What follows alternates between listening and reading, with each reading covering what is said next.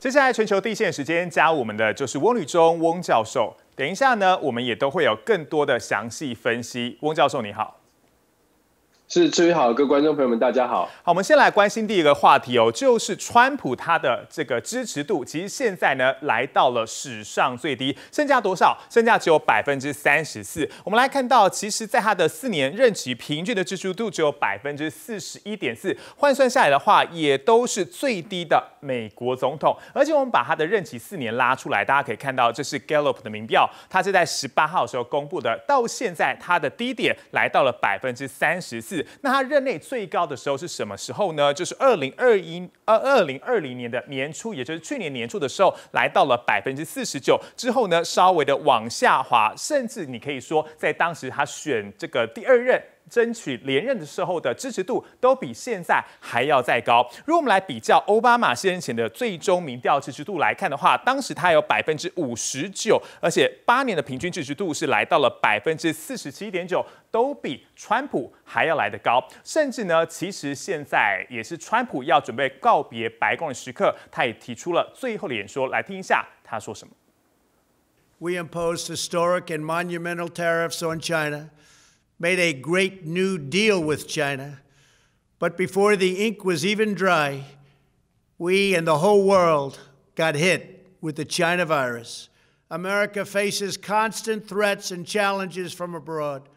But the greatest danger we face is a loss of confidence in ourselves, a loss of confidence in our national greatness. No nation can long thrive that loses faith in its own values, history, and heroes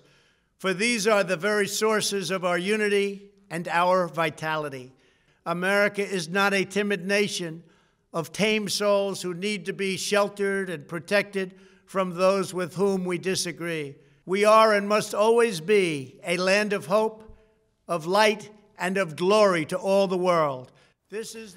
好，接下来我们就要请教翁教授了。翁教授，其实在这一次的川普告别演说当中，他其实似乎有留下伏笔。他提到说自己的运动才正要开始，是不是其实也开始慢慢透露说他接下来的政治动作会不会再重新把川粉聚集起来呢？是。其实至于问到这个问题，我们一直以来都在分析，就是说川普卸任之后到底有什么样的政治动作？我们从刚刚的民调可以看得出来，川普不但是史上最低民平均民调的总统，事实上他一路以来他都没有超过百分之五十的民调支持度，这是在美国史上没有发生过。至少在盖洛普盖洛普民调进行总统支持度的民调当中，没有任何一位史上的总统不曾在任期当中不曾超过五十 percent。这换句话说代表什么呢？换句话说，在代表的是川普的支持者是非常。锁定在特定的族群，也就是说，共和党可能是死忠的共和党，甚至是极端的共和党的族群哦。刚刚志宇说，在演说当中，是不是听到了一些蛛丝马迹呢？确实是我们刚刚在演说当中看见的是，川普仍然是非常强悍的，展现的是一种非常强悍的，强调美国的价值，强调美国这种英雄英雄式的这个价值呢。这个价值确实是非常对所谓的共和党极端的、极度的支持者的这个这个呃愧靠，或者是说他的这个呃喜欢的特质，领导。人的特质就是喜欢强悍的英雄式的领导人。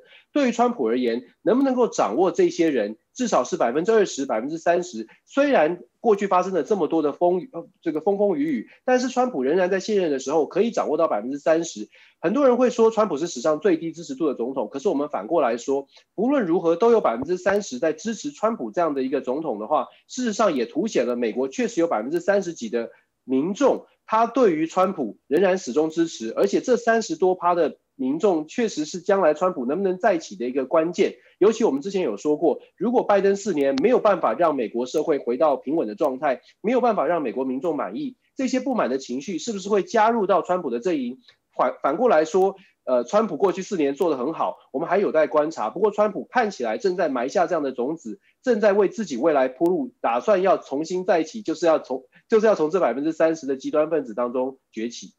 好，吴教授，从从刚刚你的分析来看，虽然说他的民调还有相关的满意度都是明显偏低，只有百分之三十四左右，但是这三十四都是非常铁的百分之三十四哦，所以我们可以这样分析。但是也有人开始说，其实接下来马上 Joe Biden 要上任了，甚至他用有人形容他的四年是所谓的后川普时代，您怎么看这样的说法？确实是我们说所谓的后川普时代，我们会发现一个完全不一样的一个领导风格。事实上，像今天在美国是所谓的川普任期的最后一天，对于拜登政府来说，他是上任前夕啊，就职前夕的第就是最后一天哦。就职前夕，拜登做什么事呢？就职前夕，今天晚上，拜登在华盛顿特区站在华盛顿纪念碑之前，带着贺锦丽来缅怀过去这一年当中死难的这些 COVID-19 的受受难者，而且呢，也也也来这个对于。医疗人员、第一线的医护人员到做一个感恩的一个呃纪念行动哦。其实从这样的一个领导风格，拜登想要传递的，很明显的跟川普过去四年想要以雄性英雄主义呃主导的这种美国精神是截然不同的。哪一种更能够得到美国人民的支持呢？以现在的疫情来说，拜登看起来用言行来带领美国，让美国更团结，让美国来呃抚平伤抚平伤痛。看起来到目前为止哦，拜登的支持度是节节上升。过去拜登可能支持度都在百分之四十，大概刚刚过百分之五十。可是最新的民调显示，拜登对于拜登的好感度已经突第一次来到了六成哦。其实这是一个很明显的一个呃，可能说可以说是蜜月期，也可以说美国民众确实在经历了 COVID 之后，期待在后川普时代看到一个截然不同的领导人，至少呢在身体力行上面让大家觉得这个国家正在慢慢走回正常的轨道上。好，再来我们来关心到一下 Joe Biden 他的内阁提名人选，而现在在进行的就是这些内阁提名人要在参议院进行所谓的听证会。那我们来看到，其实现在包括国务卿的提名人，还有财政部的提名人，甚至呢国防部长的提名人，基本上呢都表达一个氛围，就是呢抗中的态势。我们先来看一下 Blinken 他是怎么说，他是说他是赞同 Pompeo 认定大陆在新疆进行的种族灭绝，以及对大陆有误导隐瞒意。所以说呢，对于解除对美台交往的限制，他表示说会依照台湾保证法来仔细研究。另外再来，我们来看到就是经济部分，就是耶伦了。耶伦他是说，大陆是美国重要的策略竞争者，北京以什么样的手段呢？以倾销贸易壁垒的手段来削弱美国公司的竞争力。所以说，如何对中关系，他也认为必须未来要来好好讨论。再来，国防部长的提名人 Austin。如果他真的是美国的第一位这个国防部长是非裔的人选的话，我们来看到，他也承认说，大陆是美国未来最大的威胁，整个战略的重点会放在哪里呢？就是亚洲了。他也认为说，不会容许大陆军事的力量来超越美国。而他详细的内容，我们来听一下他怎么说。Need resources to match strategy, and strategy match to policy. And policy matched to the will of the American people. Globally, I understand that Asia must be the focus of our effort. And I see China in particular as a pacing challenge for the department. 好，我们刚刚听到的是 Austin 的一个说法哦，但是其实在这一次的听呃所谓的相关的会议上面，包括俄国、中国大陆甚至伊朗的问题，在上面都有非常多的讨论。但是大家觉得最吸睛的还是所谓的抗中保台啦。以这样的说法来说，我们台湾可以说是吃下定心丸吗，教授？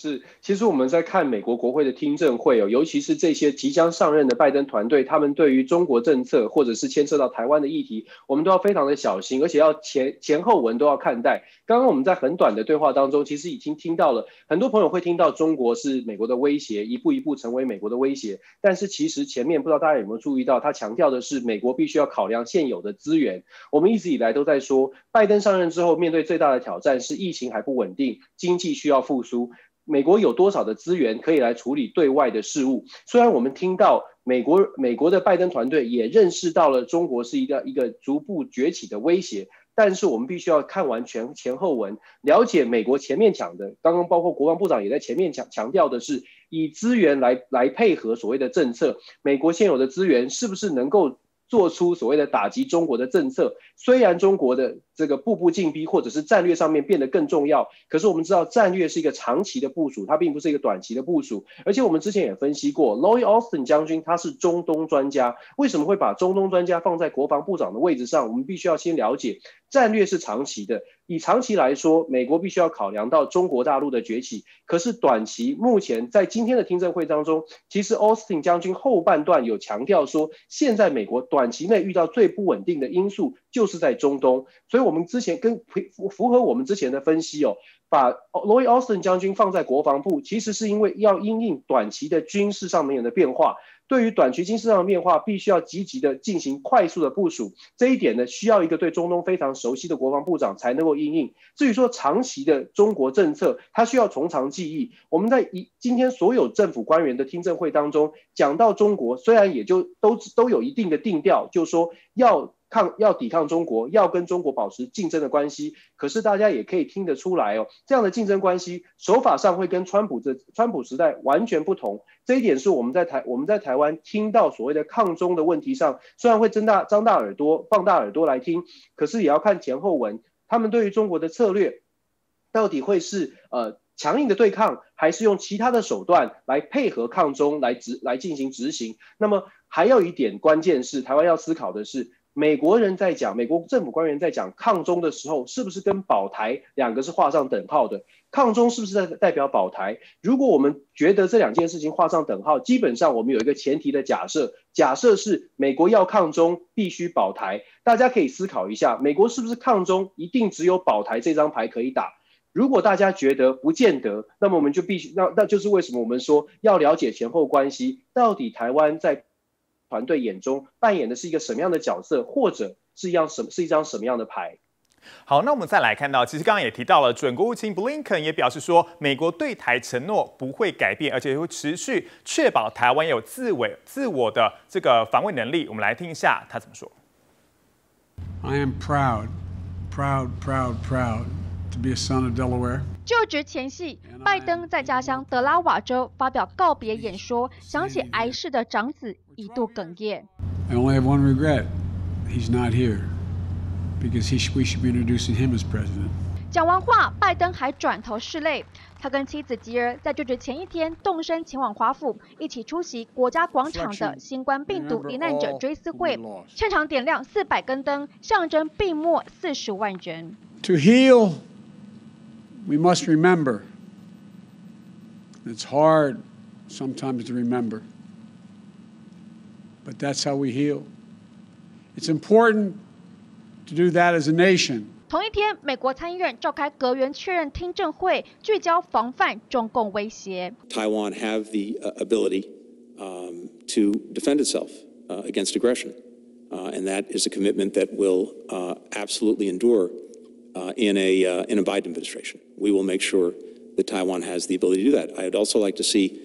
uh, Taiwan playing uh, a greater role uh, around the world. 国务院对台承诺不变，财政部长耶伦也认同要继续川普的抗中路线。China is clearly uh, our most important strategic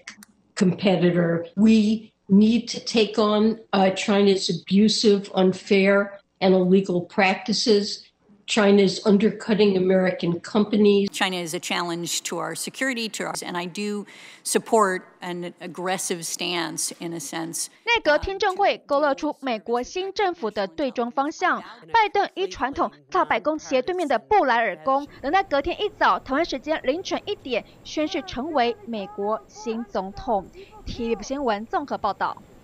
好，其实我们刚刚听到了非常多准内阁对于整个美国对外的一个应对的态度，但是其实现在我们一直在强调的是，Joe Biden 一上任，马上一定是内政大于外交一个这样的方式哦。而且现在如果我们来看到，现在也传出他上任一上任，马上要颁布十二道的行政命令，这是跟他其实现在基本上他所提出的内阁成员都还没有通过所谓听证会的认证有关系。如果零内阁的状况之下，这样上任的状况之下，对他的施政会造造成什么样影响吗，汪教授？是，其实拜登上任之后，他在就职典礼当天呢，宣誓就职之后，他就有总统的权利，所以他所谓的传出他即将要推推动所谓的十二道金牌或者十二道行政命令，是立刻可可以生效的，这不需要等到内阁的认证通过。只不过内阁认内阁的认证当然很重要，因为内阁认证之后才可以所有的阁员才可以开始让政府的机器运转哦。不过到目前为止看不出有任何内阁可能会被否决的一个迹象。不过刚刚志宇我不知道有没有发现，在这个我们新闻片段当中。有听到这些重要的内阁官员对于中国议题的一些发发言，如同我们刚刚前一段所分析的，其实我们看美呃内阁官拜登团队对于台湾对于中国的议题，他们的讲话其实是非常传统式的外交官的说法。这也是为什么我们要特别的小心，特别要注意前后文。尤其是刚刚布林肯国这个国务未来的国务卿准国务卿哦，他谈到台湾的时候，重点在于。要帮助台湾具有自我的防卫能力，我想这一点是台湾要听得非常非常重要的。他强调要帮助台湾在国际上有影响力，但是后面有一段话是说，在国际组织当中，尤其是那些不需要把台湾视为国家地位的国际组织哦，我想全文听下来，你。坦白说，我今天听完了整个记者会，全文听下来的感受是，台湾在面对拜登团队，会跟川普时代会有不一完全不一样的一个外交的处境哦。未来如何应应，我们真的要跟拜登的团队进行更紧密的结、更紧密的联系，才有办法在台湾的利益跟美中台的关系当中找到平衡，这点非常重要。那教授，我想要请教一下，有一个观察点，我不知道可不可以就是来解读一下，就是呢，我们的驻美代表基本上也没有拿到所谓的这个邀请函，就职典礼的邀请函，这件事是不是某种程度上也反映了还有需要再多努力吗？还是是因为真的是大环境，包括疫情，还有包括维安的因素所导致的？我想是至于观这个观察很重要，当然也是很多台湾朋友在关心的。但是我们必须要很持平的说，对大今年的大环境哦，以及华府的维安的状况，我们在新闻都看看得到。确实，今年整个就职典礼它的规模是缩的非常小的。就就就按照媒体的说法，以及美国政府的公告，包括了国会议员哦，四百三十五位再加一百位的参议员，他们所能带领的这个参观礼的人数，也只有自己再加上自己的伴侣。两张票而已，连国会议员都只能拿到两张门票的情况之下，可以想见今年华府的紧张气势，再加上情势，再加上疫情，导致对于这个典礼本身呢，对外开放的本来幅度就很有限，所以今年呢，不不见得是呃没有收到邀请函，就代表说我们的关系生变，或者说我们关系还不是那么接近，我们必须很持平的说，但是我们说了。过去这段时间，包括了川普即将离离任的川普团队在国务院所做出来的这些决定，到底有没有跟台湾有紧密的做结合？我们好像是被蒙在鼓里，好像是被通知的一方。这一点未来是不是有加强跟改进的空间？确实直接大值得大家讨论。尤其是跟拜登的团队，我们刚刚一再强调。拜登的团队是非常传统的美国外交官体系哦，都非常的专业。可是专业的背后代表的是，他们讲出来的每一字每一句都要非常小心，绝对不能用前文或者是后文截断来来做来做判断。这些专业的外交官，我们在说专业的外交官每一个字都用得非常精准，这点是我们要特别特别注意的。好，那我们再来看到就是美伊关系了。现在 Joe Biden 马上要上任了，但伊朗举行了半个月之内的第五场演习，包括是陆军的地面部队在阿曼关的沿岸展开了大规模的海陆空演练。从画面上大家可以看到，说其实包括是伊朗的国营媒体也报道说，这场演习其实出动了包括空降部队、特种部队等等，在东南部展开演练。外界其实就认为说，这跟 Joe Biden 马上呢就要上任有关系。所以我就想要来请教教授一下，包括其。其实现在伊朗是频频的举办军演，甚至他以这个大秀军事肌肉，甚至也制裁了包括川普跟蓬佩奥在这个伊朗当地是没有办法有一些制裁的情况。但是呢，其实目前看起来，这个政治动作应该还是居多啦。牵制是不是其实也等同说他是要牵制拜登的新政府？法国其实也发言，希望说美伊的核协议是不是可以好好坐下来谈？甚至呢，在美国对伊朗的经济制裁方面，其实现在是等于说，现在伊朗也很希望就拜登马上赶快给个答案。是，其实至于你的观察非常的精准哦，确实这是一个政治象征的动作比较大。事实上，伊朗一直希望美国可以重新回到谈判桌上，进回到二零一八年的核协议，因为二零一八年呃，川普政府片面的决定要退出伊朗的核协议。当然，这核协议是在奥巴马时期。如果大家翻开拜登的这个国安团队，就会发现，其实很多包括 Jack Sullivan、呃 Blinken 等人都在当年核协议的谈判过程当中是参与者，所以他们对于伊朗是非常熟悉的。法国提出的这些警告或者是呼吁，是希望中东可以和平。不过，我们看到布林肯对于伊朗事件、军武事件的军军事演习的回应哦，非常的非常非常的微妙。我们说他们是专业外交官，布林肯的回答是说，他们他觉得伊朗的问题呢现在比较复杂，他们觉得应该要冷处理。等等，换句话说是希望等到伊朗冷静一点。不要再吵了，冷静一点，我们会跟你谈。事实上，会把这样的冷处理会让伊朗感觉到更着急，毕竟伊朗是被经济制裁的一方，对于伊朗来说，现在他们需要美国回到核协议的谈判桌，原因是因为受到疫情打击到打击到经济，再加上经济制裁，造成伊朗国内民生经济的部分受到重大的影响哦。所以伊朗是积极的希望美国赶快来，赶快回来谈判，赶快解决伊朗的这些问题，所以才会有所谓的军事演习的动作。